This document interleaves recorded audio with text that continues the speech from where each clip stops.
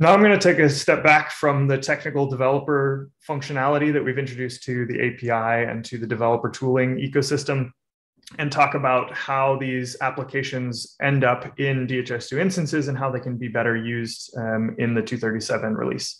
Um, to support that, we have redesigned the App Hub and introduced a number of important new features there as well.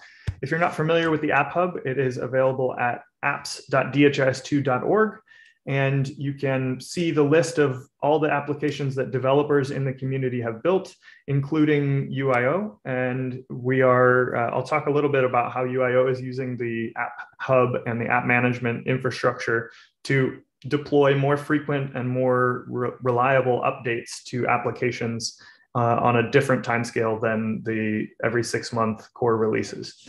Um, some of the new features that have been introduced to the App Hub here, I will uh, show here. I'm going to go ahead and sign out of this user. I'm going to sign in again. One of the features that we've added is the ability to authenticate with GitHub. So if you have a GitHub account, you can log into the DHIS2 App Hub. Uh, previously, we only supported Google. I'm going to go ahead and use Google for my authentication here right now to show this next feature. Um, this user has not uploaded any apps to the App Hub. Otherwise, you would see the applications that you have previously uploaded, including the ones that are still pending uh, approval.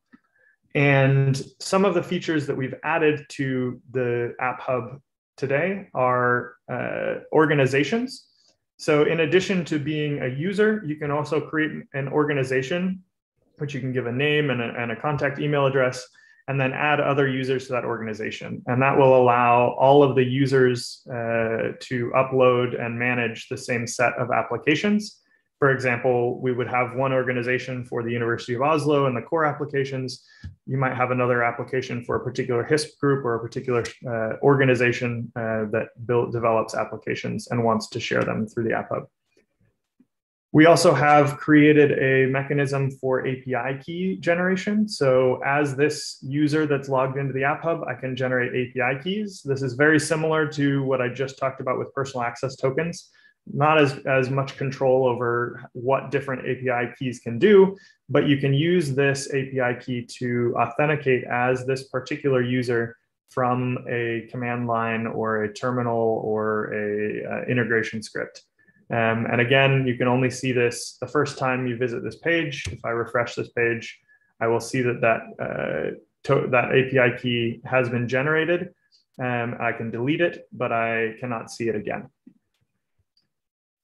Those are two of the features that have been added to uh, the App Hub. You can also see that we've significantly improved the interface overall of this App, app Hub uh, in the last year.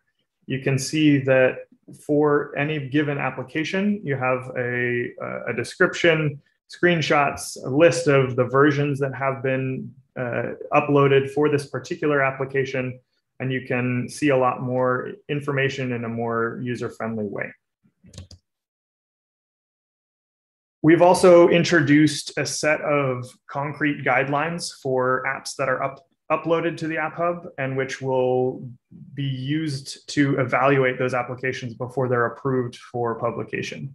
Um, in general, those are useful and appropriate, generic and open source, well designed and documented, and secure and performant. Um, there are very specific guidelines that you can find on the developer portal. So this is at developers.dhis2.org.